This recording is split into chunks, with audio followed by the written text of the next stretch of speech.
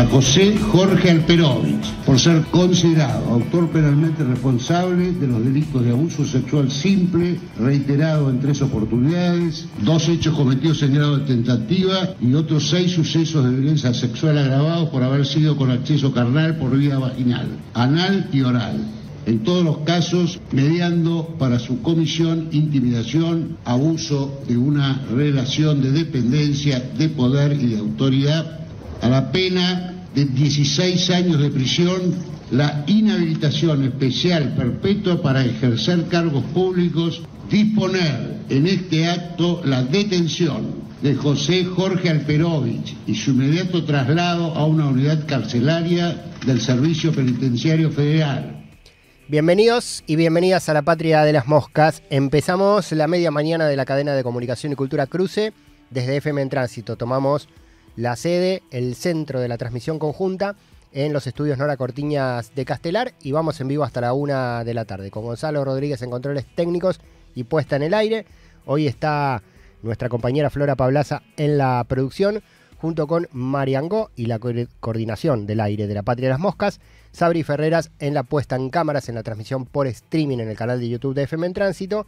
Mi nombre es Pablo Daniel Ovín y abrimos con la condena a José Alperovich, dada ayer por la noche. Y la vamos a sumar en esta apertura a Mavi Sosa, compañera de nuestro programa, compañera de la producción y que nos aporta siempre contenidos periodísticos en el off de micrófonos, pero también la queremos tener hoy al aire para charlar de esto por su experiencia y por su trabajo en Tiempo Argentino y en la agencia Presentes en relación a las luchas de géneros y a las luchas contra las violencias y también porque Mavi es tucumana. La saludo a nuestra compañera. ¿Cómo te va, Mavi? Hola, Pablo, ¿cómo estás? ¿Cómo te va? Muy bien. A toda la audiencia también. Muy bien. Bueno, gracias por abrir con nosotros el programa en el día de hoy, después de lo que fue ayer esta emblemática condena al Perovich a 16 años con las nueve causas que ahí mencionaba el juez Ramos Padilla, que se probaron después de mucho tiempo de juicio contra un poderoso. ¿no? El fallo, la condena tiene ese signo y es el, poner ante el banquillo y juzgar finalmente y condenar a alguien que con mucho poder durante mucho tiempo fue impune por esa situación ¿Cómo se está viendo esto en Tucumán puntualmente con el poder político de Alperovich residual? ¿Y cómo se está viendo desde el movimiento de mujeres esta situación puntual de ayer que podemos catalogar de, importante porque justamente daba una vuelta de página a esas situaciones de relaciones de poder infranqueables hasta ese momento? Sí, eh, la verdad es que, bueno, en Tucumán se ha vivido con una gran conmoción, ¿no? En todos los sectores, no solamente eh, en la gente que llegaba o que ha ido conociendo esta noticia, sobre todo el sector político, ¿no? Ya durante eh, la, audiencia se, abrió a las 13 y más o menos, bueno, había algunos indicios, se sabía que alguna condena iba a haber, sobre todo por la contundencia de las pruebas, ¿no? Pero también por algunas eh, cuestiones que indicaban que iba a haber una condena. Quizá no se esperaba que la condena eh, primero sea de tantos años, y eh, lo otro que por ahí no se esperaba es que inmediatamente vaya preso, ¿no? Estos dos factores han sido, realmente han causado una gran conmoción. Alperovich ha estado, ha sido gobernador en tres ocasiones Tucumán, eh, ha sido una, persona que además ha desarrollado y ha acumulado una gran cantidad de poder, un poder que hoy eh, todavía eh, todavía está vigente, ¿no? Y esto hay que decirlo y esto también se nota en el momento en el que este, alguien o necesita una fuente o digo ayer todas las personas con las que he hablado y no me ha pasado solamente a mí, le ha pasado a colegas que están allá en Tucumán, eh, no, no, no quieren hablar del tema, ¿no? digo, la conmoción ha llegado a ese punto, ¿no? Primero porque digo, te decía, el, poder de Alperovich, pero también eh, porque se trata de una denuncia de abuso sexual, ¿no? Sabemos y todo el tiempo estamos hablando y cubriendo eh, noticias eh, relacionadas con abusos sexuales que muchas veces no tienen, no, no, sé, no tienen un, un, correlato en las decisiones que toma la justicia a pesar de la contundencia de las pruebas, ¿no? Y en este caso sí lo tuvo. Por supuesto, con mucho en contra, estaba intentando justamente, para comentarlo, no, he llegado, pero estaba intentando leer una nota que salió, acaba de salir en el diario Clarín, desacreditando por completo al juez Juan Ramos Padilla, que es quien dictaminó esta condena, ¿no? Digo, bueno, esas cosas están pasando, van a pasar hasta agosto que se conozcan los, los fundamentos de la condena, ¿no? Recién para, para entonces, mientras tanto, el ex gobernador está en una prisión preventiva. Em, cuando se conozca, eh, se conozca los fundamentos de la condena, recién ahí se puede apelar. Bueno, digo, todas estas cosas y operaciones de prensa van a aparecer, porque estamos hablando no solo de alguien con un peso em, ya no, quizá ya no político, pero sí un, peso de, mucho poder de diferentes índoles en una provincia como Tucumán, pero también en, algunas, en algunos otros eh, sectores que, no son eh, de Tucumán. Y e, eso por un lado, y otro por eh, la cuestión patriarcal que siempre hablamos, ¿no? Que cuando se habla de un abuso sexual siempre se cuestiona a la víctima y cuando uno accede al veredicto, el fallo es muy crudo lo leyó eh, ayer el juez, em, y, la verdad es que después cuando uno, eh, ya, escucharlo eh, era impactante, pero cuando lees, lees la descripción, lees em, la crudeza con la cual se, se, cuentan, se hablan de las pruebas, realmente llamativo, pero realmente contundente, ¿no?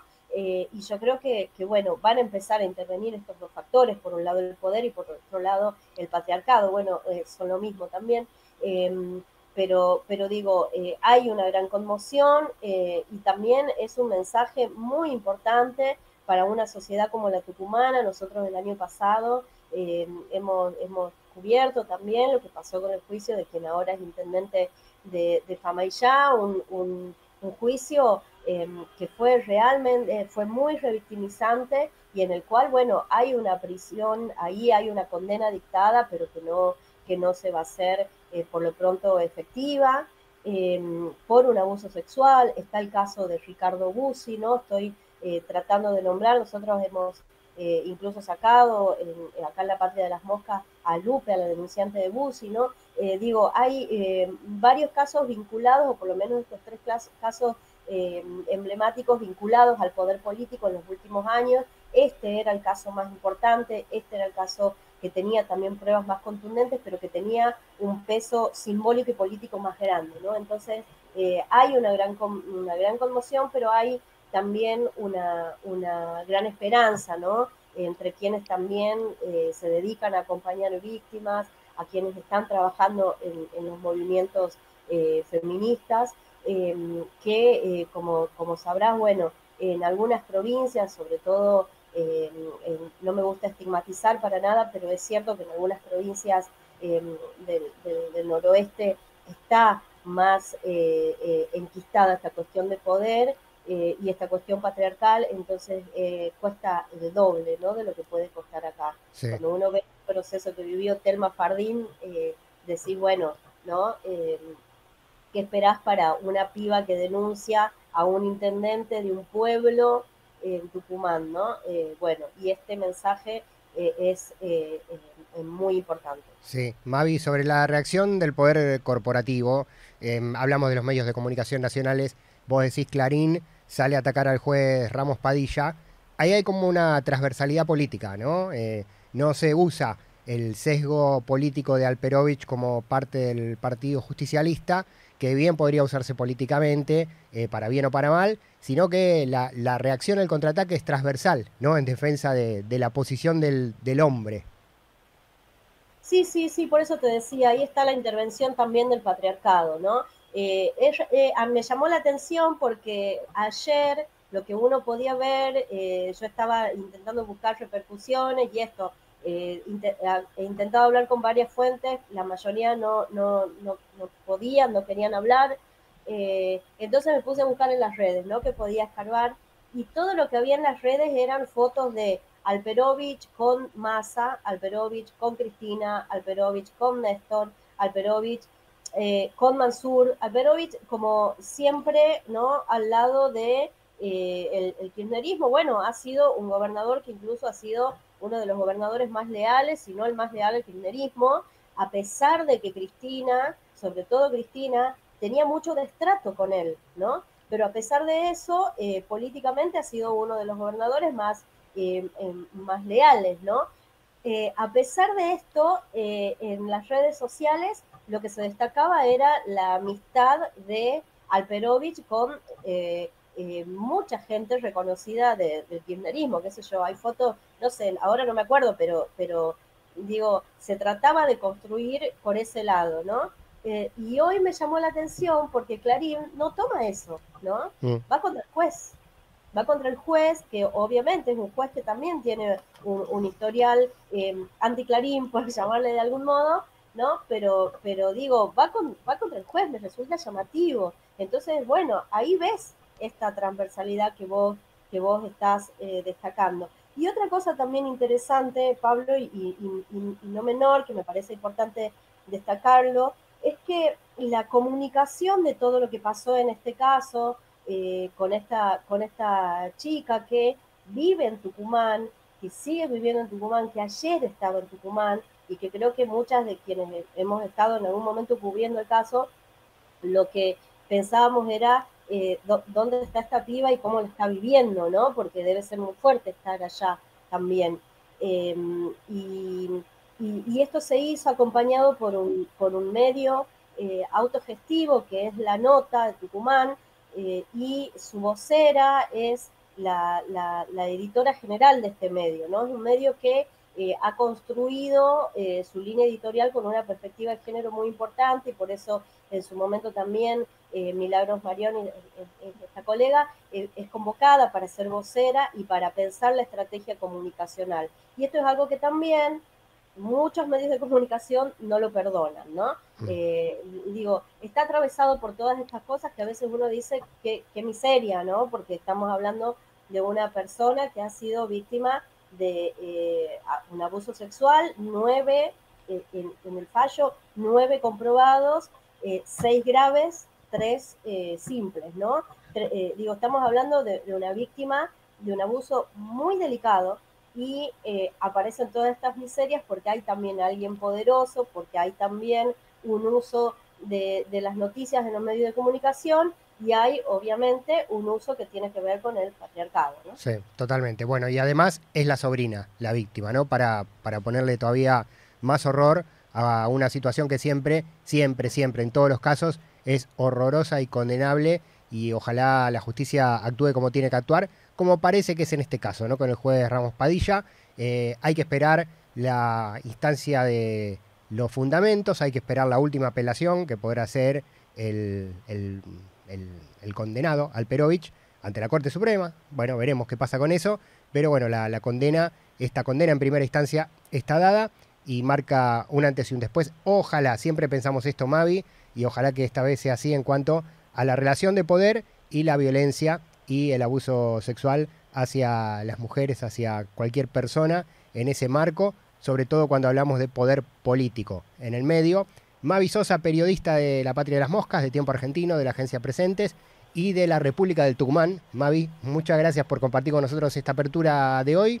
Bueno, veníamos de la condena ayer y el programa Hoy sí o sí empezaba por acá y quisimos hacerlo con vos desde la redacción, así que te agradecemos mucho.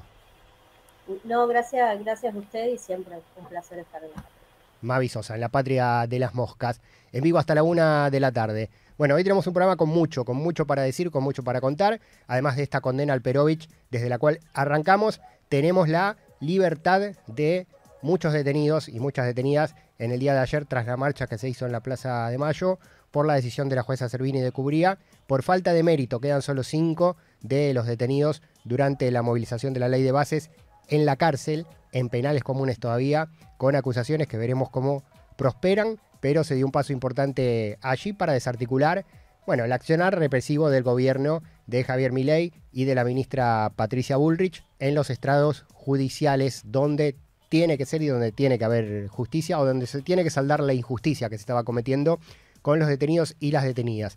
Y un montón de otras cosas más que tenemos apiladitas en tres horitas de programa, de las cuales ya estamos consumiendo esta primera parte. 10.21 hasta la 1 de la tarde La Patria las Moscas en Cruce, la cadena de comunicación y cultura del conurbano bonaerense.